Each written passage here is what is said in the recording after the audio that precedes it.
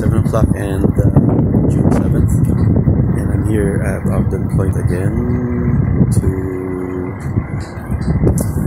minister to seafarers. And uh, there's three ships at the back.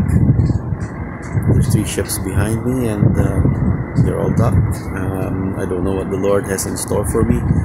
So I pray, oh Lord, that you send your Holy Spirit in my ministry today.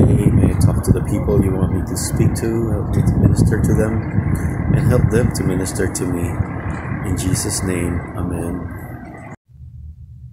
It's almost 9.15 and uh, I'm on my way home. An interesting thing happened today as I was uh, going to the tent.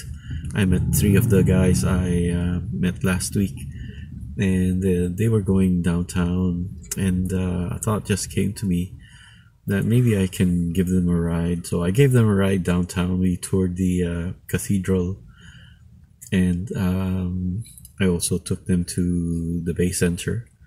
Um, they were quite pleased and uh, there was a connection there and I hope um, they'll be able to uh, this relationship with them um, will prosper and that the Lord will uh, help me to minister to them. It was uh, kind of interesting that uh, they said that they haven't been to the cathedral and it, it's been like months before um, it's been months since they have set foot on a church uh, in a church.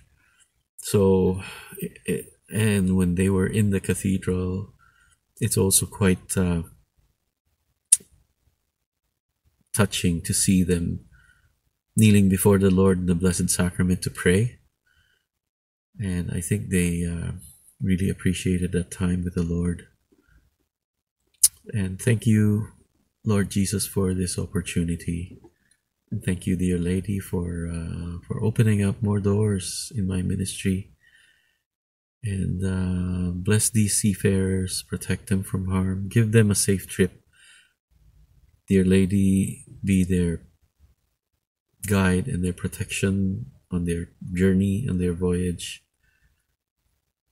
Give them peace in Jesus' name. Amen.